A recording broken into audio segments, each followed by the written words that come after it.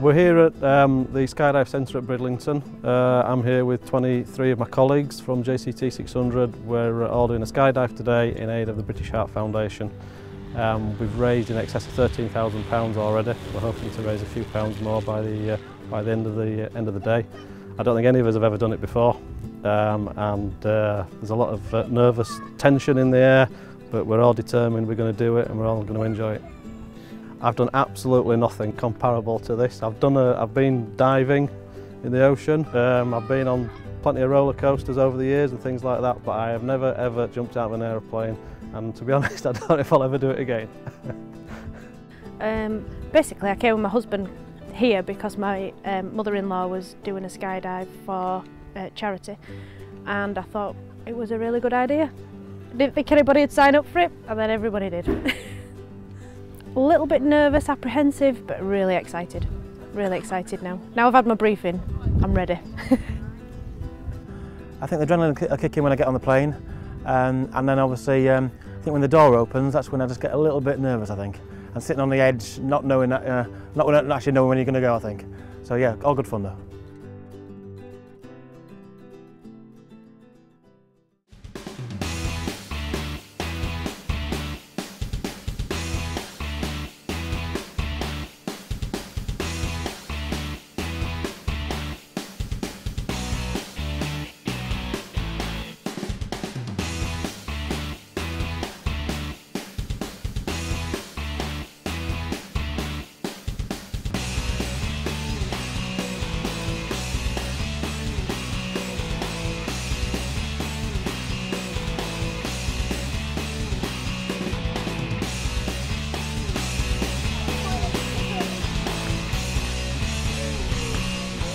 I have to say it is the most amazing experience of my life. The adrenaline rush is just incredible.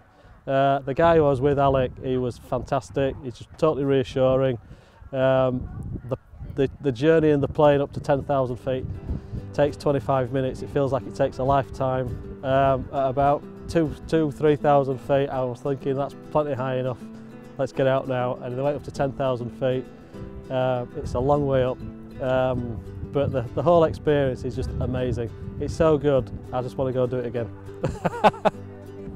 um, it's the most bizarre feeling in the world because you don't feel like you're, um, you're actually falling, you just feel like you're floating. The first bit was just like you were falling, it was horrendous. but then, then you were fine, then you felt safe. Frightening, but enjoyable. so glad we've done it now. The adrenaline rush of jumping out and uh, and, and uh, free falling first of all was just amazing. Um, and then yeah, when he sat in some rolls afterwards when the parachute out, it was just uh, phenomenal, just great stuff. Yeah, I think I think we all want to go back up again now. Mm, don't know, I might jump out of a plane again. I'd have to give the rest of the day to think about it. Definitely want to do it again. It's, and I've got the uh, got a certificate to prove I've done it, and uh, that's going up on my office wall on Monday. And uh, do it again next year. It's got to become an annual event, I think. This fantastic. you.